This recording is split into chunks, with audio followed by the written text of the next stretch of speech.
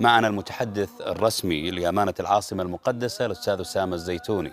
أستاذ أسامة مساء الخير كل عام وأنت بخير وسعداء بأن تكون معنا في هذه الدقائق. حياك الله أخي الكريم ومساء النور وأهلا وسهلا بك وكل عام وأنتم بخير. أستاذ أسامة يعني استعدادات أمانة العاصمة المقدسة هذا العام وإنجازاتها خلال الفترة الماضية كيف تصفها لنا؟ نعم ولله الحمد. بداية أخي الكريم شكرا لكم على هذه الجهود الإعلامية المباركة بحرصكم على إبراز ما تقدمه حكومة خادم الحرمين الشريفين يحفظه الله من جهود كبيرة لتهيئة وتوفير كل سبل الراحة لضيوف الرحمن وحجاج بيت الله الحرام. حيث إن جميع القطاعات والجهات الحكومية وكذلك الأهلية تتضافر في خلال هذه الأيام لتتوحد جهودها من أجل تقديم خدمات ذات جودة عالية لضيوف الرحمن.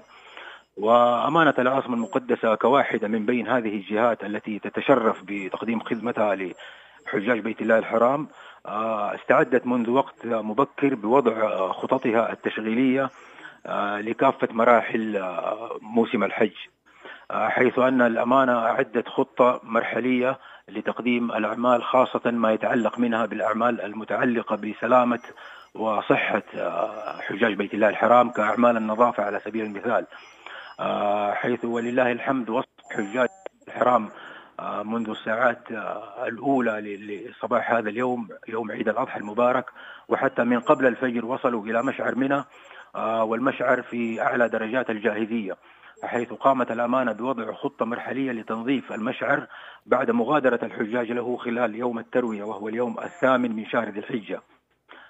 فبمجرد مغادرة الحجاج في ذلك اليوم بدأت الأمانة بتوزيع فرقها للنظافة والمزودة بالآليات والمعدات وقامت بتنظيف المشعر بالكامل حيث استقبل اليوم المشعر من حجاج بيت الله الحرام والمشعر ولله الحمد في أعلى درجات الجاهزية. قامت الأمانة أيضا بتنظيف المشعر. لا, لا يقتصر دور الأمانة في النظافة على الكنس أو التقاط النفايات أكرمكم الله فقط بل أيضا تقوم الأمانة بغسل وتنظيف وتعقيم المشعر من خلال رش المبيدات وتعقيم كافة أرجاء المشعر. حتى يكون في أتم الجاهزية لاستقبال ضيوف الرحمن ولله الحمد. نعم. كيف تتلقى الأمانة البلاغات سواء من قبل الحجاج أو من الجهات الحكومية الأخرى إذا كان هناك أي إشكالية في المشعر فيما يتعلق بالخدمات الأمانة الأمانة طبعا لديها العديد من القنوات لتلقي بلاغات سواء المواطنين أو المقيمين أو حتى الشركات الطوافة والمطوفين. لديها العديد من القنوات سواء القنوات الإلكترونية أو حتى القنوات الهاتفية ولديها رقم موحد تستقبل عليه البلاغات وتقوم بتوجيه الفرق اللازمة لسداد هذه البلاغات أولا بأول. نعم.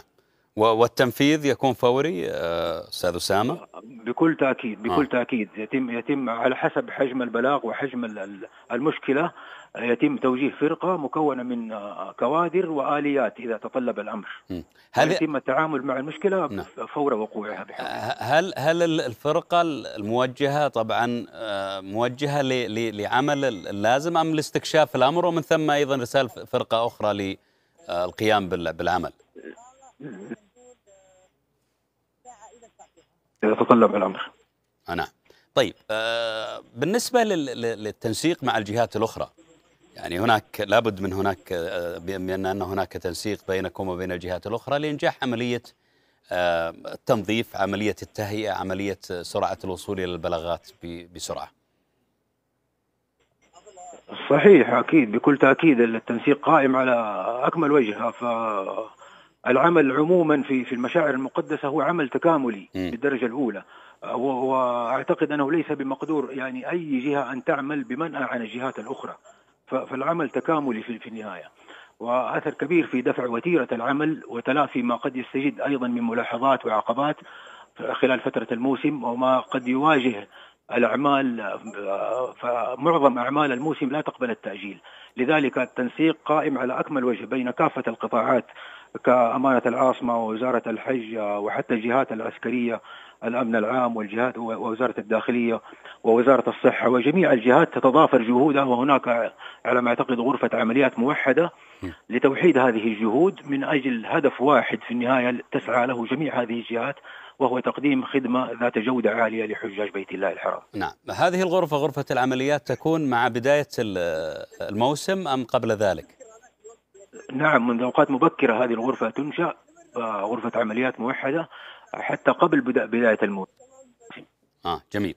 طيب أستاذ أسامة يعني ونحن نتحدث عن آه هذه الخدمة من الأمانة العاصمة المقدسة بتوفير كل السبل والإمكانات لتنظيف وتهيئة المشاعر سواء منها أو غيرها طبعا عرفات وما إلى ذلك من المشاعر. آه يعني هل واجهتكم صعوبة من قبل الحجاج عدم التجاوب في هذا الجانب؟ ابدا ولله الحمد حتى هذه اللحظة الأمور كلها تسير على ما يرام ووفق ما خطط لها. ولله الحمد يعني حتى حجاج بيت الله الحرام آه الغالبية العظمى منهم أصبحوا على درجة كبيرة من الوعي في الالتزام جميل.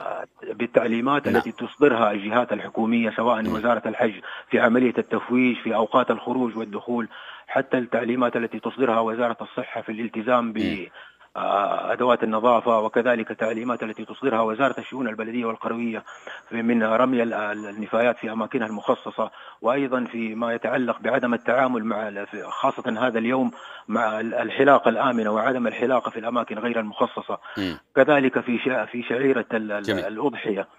هناك التزام تام ولله الحمد من من حجاج بيت الله الحرام. جميل. أستاذ أسامة الزيتوني المتحدث الرسمي لأمانة العاصمة المقدسة شكرا جزيلا لك.